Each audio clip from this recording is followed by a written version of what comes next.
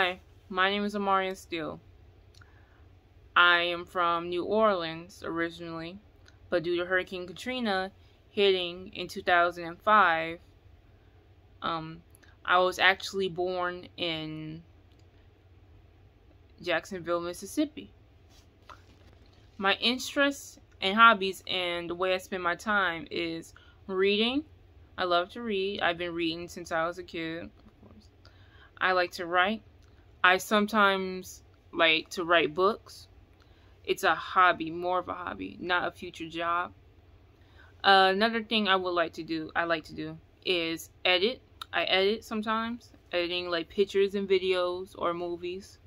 And sometimes people would pay me to do it.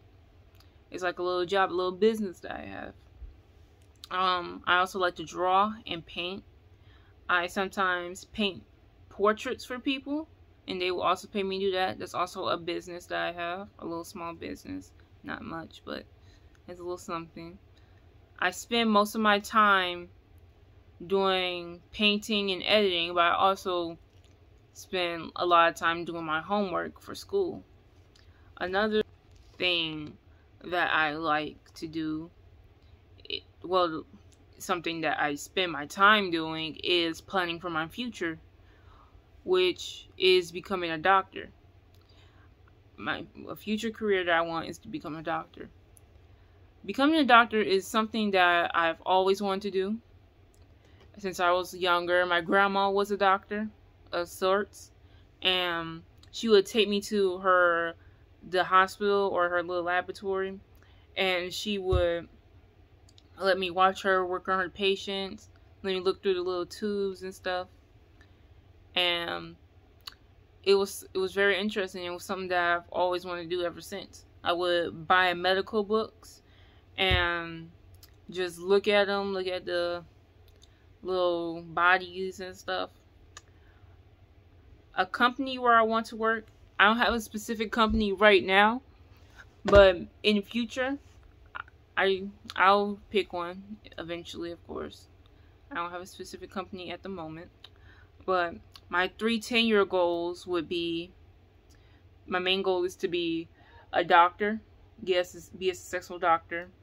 Then I would like to become closer with my family and the third goal would be to have a successful life, like live a successful life, be rich, be a rich doctor. I would say one of my communication strengths is being able to talk loudly whenever I have to present something and speaking publicly. When you speak publicly, you can't have a quiet, hushed voice because people can't hear you and hear what you're saying and they might not take you very seriously. So having a loud voice is very important to have during communications like that, like a whole group to talk loudly. One of my weakness I would say is I tend to freeze up when I'm on stage sometimes and it's a very awkward situation when you freeze up and sometimes I forget my lines. And after I forget my lines, I feel like I can't do it anymore. And I would have a little panic attack, but sometimes I would compose myself and just go through with it and improvise a bit. I say I can improve that weakness by speaking to myself and hyping myself up before I go out and speak publicly, I would say speaking publicly a little bit more.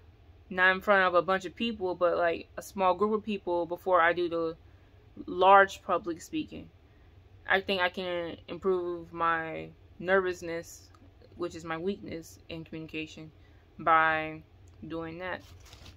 I think having strong communication will help me in the future because when you're a doctor, you have to tell the patients if their family member or friend passed away.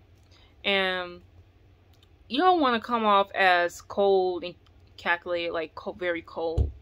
You want you want to sound professional, but you want to sound be sweet about it and care like, like at least act like you care for them. That's having strong communication and comfort them in their time of need and tell them that their family member passed away.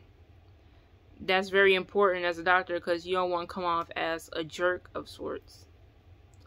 Um, I don't, like I said, I don't really have a specific company I want to work for, but I do want to work at a hospital as a doctor.